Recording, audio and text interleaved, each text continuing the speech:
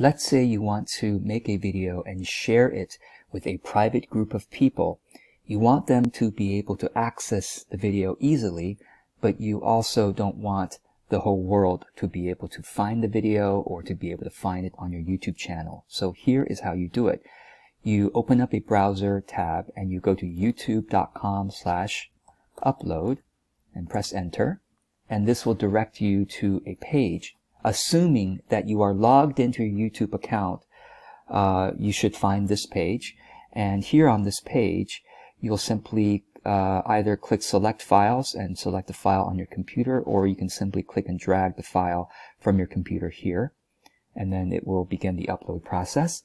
And here you name the video um, testing. I'm just gonna make a and the description is whatever whatever you want to type and then scroll down and uh, it's up optional to upload a thumbnail it's optional to put in the playlist of course be careful of putting it an, an unlisted video into a playlist because if it's in a playlist and that playlist has been uh, accessible by other people, then this video will also be accessible by other people. So if you're making a kind of a private or unlisted video, you might not want to put it into a playlist unless you're careful about it. These other options are optional, and then so let's go to the next step. Okay, monetization, I would recommend turning it off so that those who watch your videos don't have to watch ads. And then click next. This is optional. Click next. This is uh, this should usually turn out fine. Copyright, no issues. This was a really short video, so they were able to check it quickly. But if you have a longer video, the copyright might be checking for sometimes even hours, but you can still share the video before the copyright thing has been done. Let's click next. And here, I think by default now, it's unlisted.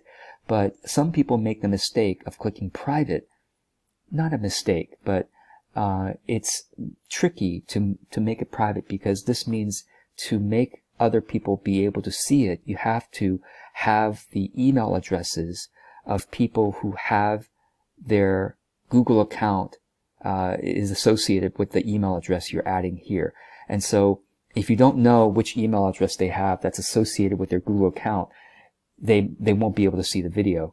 So I I always choose unlisted because this means it's easy for the people I share it with to access the video, but it's not findable by anybody else and it's not findable on my channel. So that's my recommended uh, way of doing it.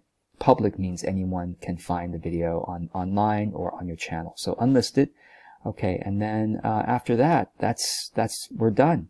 By the way, um, notice that here is a button. You can click on it to copy the video link to your clipboard so that makes it easy to paste it uh, in an email or on Facebook or wherever later. So I've copied it and I click save.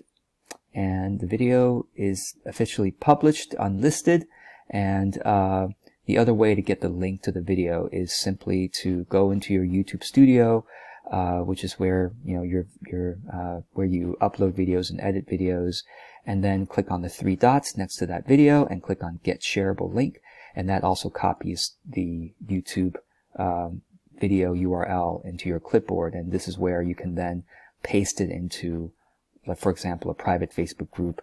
Um, I paste it using Command V on the uh, on the keyboard or Control V on a Windows and press Enter, and then within a few seconds, uh, for example, here in uh, Facebook, there should be a Yep, there you go. And people can click on this and be able to watch the unlisted video. So I hope this helps. Let me know if you have any questions below.